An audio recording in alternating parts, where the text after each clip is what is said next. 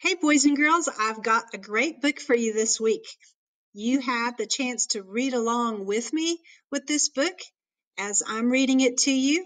And I also put in a link, or your teachers will put in a link of this book without my voice.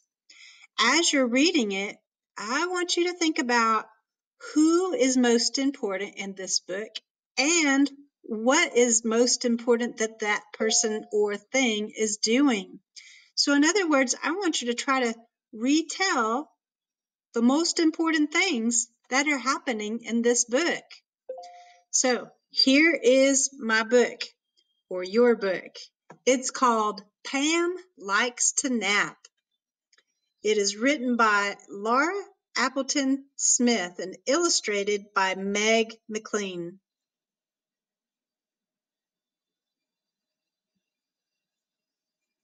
I am Pam. I am Sam's cat. Look at that cat. He looks pretty big. I like to nap. Cats like naps. No wonder he's big. He's not getting enough exercise. I can nap on Sam's map. Can I nap in Sam's pan? Yes, I can. he barely fits. A nap in a cap? What do you think? Is he going to? Let's check it out.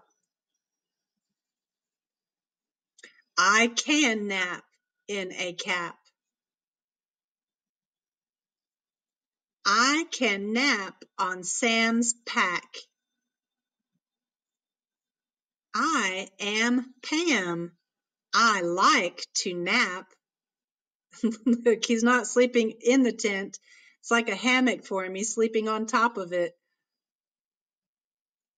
That's the end of the book. So think about who this story was mostly about and what did that person or thing actually do.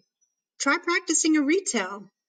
Make a video of yourself for your teachers if you want.